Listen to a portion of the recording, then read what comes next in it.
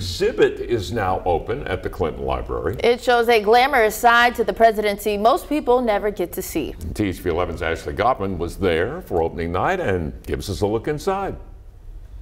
President Clinton was supposed to be in attendance, but was unable to make it. Instead, he gave his remarks in a recorded video while some of his former administration spoke about events during his presidency. Hosting foreign heads of state is one of the most useful tools in the diplomatic toolbox.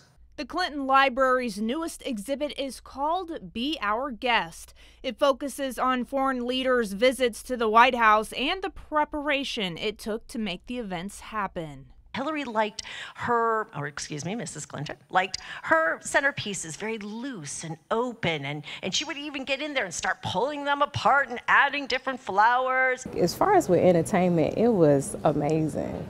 Stephanie Sims and her team spent four months putting the exhibit together. She says one of the most notable is Nelson Mandela's visit in 1994.